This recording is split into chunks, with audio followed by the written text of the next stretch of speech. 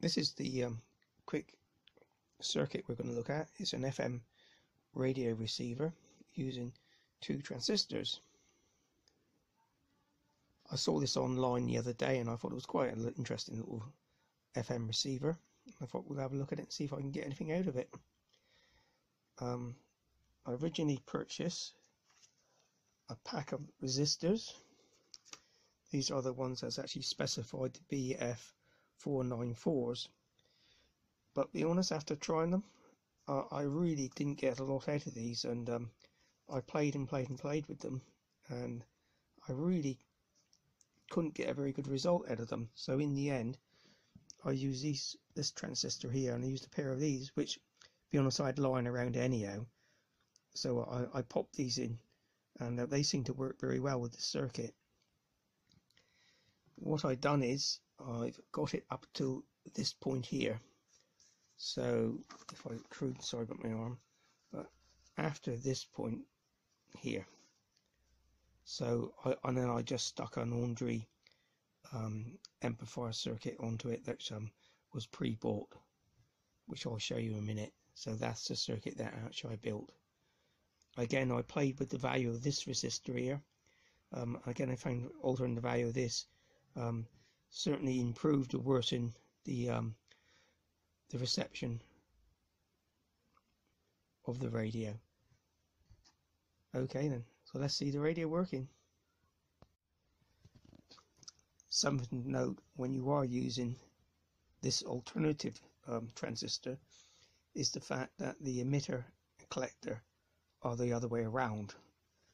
So if you're using them on this circuit, it's a case of just literally turning the resistor the other way around, um, which is seen to be quite self-explanatory.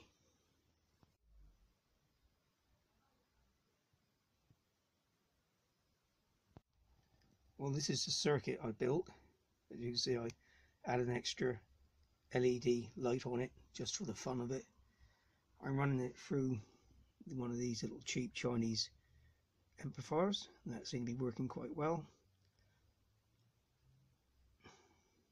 And um, also I'm running it through my homemade power pack. And it's running at the moment if you can see it about 4.8 volts. Um, okay. So um, let's have a look at it. But the big question is will it work? So let's have a look. The best takeaway Street Food 2017 is the Seafood Shack. This is just running through again my very cheap um, speaker amplifier here as well. It's the only thing I could find. So as you see, it seems to be working nicely. It is very sensitive. Can you? It's all the wires going around here. Not very good. Um, if I ever build the circuit properly, I'll, I'll actually put it in a case and get rid of some of these wiring around here. Okay, just give you a little demonstration of it working.